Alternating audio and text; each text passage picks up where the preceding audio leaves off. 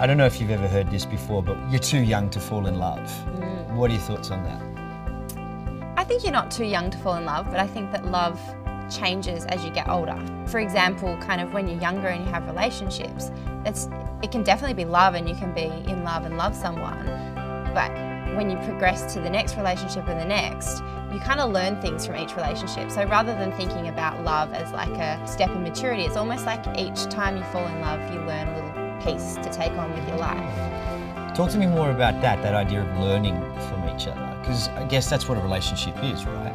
Yeah, definitely. Well, I think, you know, when you're a kid and, and you're younger and you, you're going out with someone, often it is just about finding out what you like and what you don't like. Would you say that you grow with them?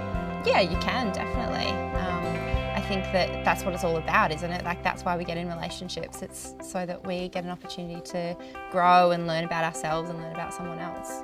What um, what kind of learning and growth have you had being with me? Oh, not a lot. No, Um, um, in all honesty, in all honesty, um, I think that I think that I've learnt how to communicate my feelings and really be heard in a relationship. you have an outlet for those feelings. Yeah, and also knowing someone that's got has got my back. So when I am kind of going through something tough or struggling with something, I know that you're going to have my back and that we can talk about it and work through it.